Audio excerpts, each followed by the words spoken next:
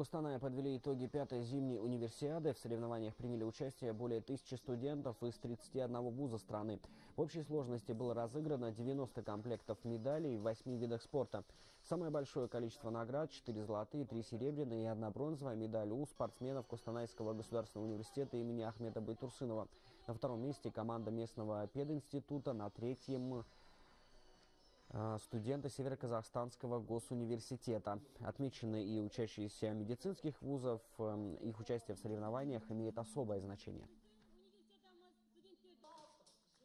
У нас на сегодняшний день есть в стране проблема э, со спортивной медициной, то есть не хватает специалистов.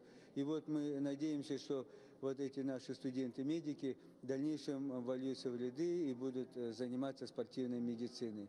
Универсиада в целом была на высшем уровне, все сделано, и подготовка трассы, и э, встречи команд. У нас сейчас подготовка будет на Всемирную универсиаду в 2015 году она будет проходить. Все силы мы будем возлагать на ту универсиаду.